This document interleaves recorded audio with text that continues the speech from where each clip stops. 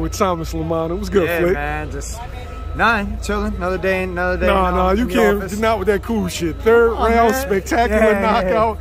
You closed the show. Another day. No, just another day in the office, man. Just uh, grateful to get, get in and out like a bank robber. I mean, like they say. So, yeah, I'm just happy it's over. What did you see that you knew you could get out, of, get him out of there early? I was way too big. I was way too big. I'm, I'm um, from the from the first bell, like I could see like my presence. Like this is a big ass ring, and Mm. I think as we got closer, he noticed, and I was like, oh shit. Like I'm a real middleweight, and um, he's like a junior middleweight coming up or whatever. He's kind of like a big welterweight, junior middleweight coming. So whatever, but he, he fought. He took the fight, and you know that's how to do what I had to do.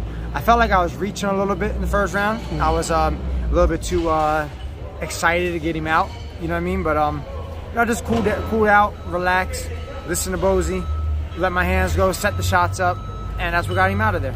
He said he said in the in the middle of uh, in between the rounds, you know, just let the hands go, just keep pressure on them, touch that body, and we're gonna stop him. Yeah. Do you feel like you settled into the weight class, like physically? Yeah, yeah, for sure. Because you know, it's yeah. I mean, I'm, I'm a big, I'm a big dude, so it's like, and and I've been active. I've been very active, so it's like me being persistent in the gym, staying um uh just active as a whole. I- I'm not. I don't blow up and wait no more. So it's like it's easy for me to make it. You know what I mean? So, uh, but yeah, I'm, I'm filling in, and hopefully when uh, the next the next fight, I'll be uh I'll be at uh, peak point prime. All right, so you started out in the first round with the jab, Yes. and it seemed like in the second and third you started laying like laying the heavy shots, Oh, like yeah. real clubbing shots to the body. Yeah. Was, was that a part of the game plan, or was it just something you just saw in the middle of the fight?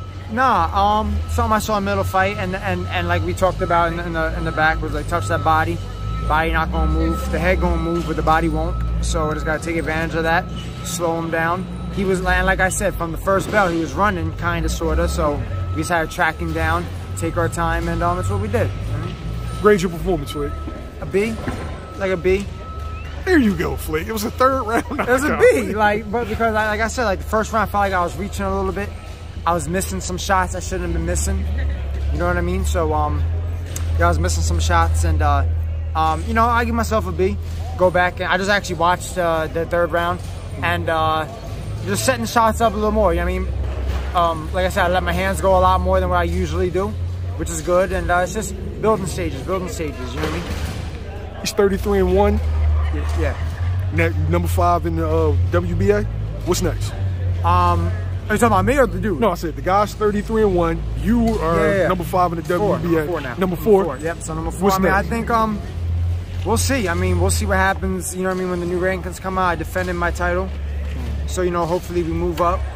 And uh, you know, like I said in the ring, you know, I, I definitely want Lara again. I definitely want Lara. That's like my my, my go-to. Uh, You know, you know he's fighting Danny. Mm. Um, Zarafa got that winner, but like you know, whatever. I think I'll be next in line after that whole series goes off. You know what I mean? Uh, But um, I'm chilling. I'm not in no rush. I'm just gonna take a, a, a mental break, just check out for a minute. I gotta. I'm gonna run the gym. Um, you know, I was in Arizona for like almost three weeks, so it's like I want to spend more time with the family. You know, so um, yeah, yeah. What's next? I don't know. Just a little chill, just a little chill. You know what I mean? Vacation or whatever. Okay. We want to tell you congratulations. Thank Great you, performance. man. Thank you, man.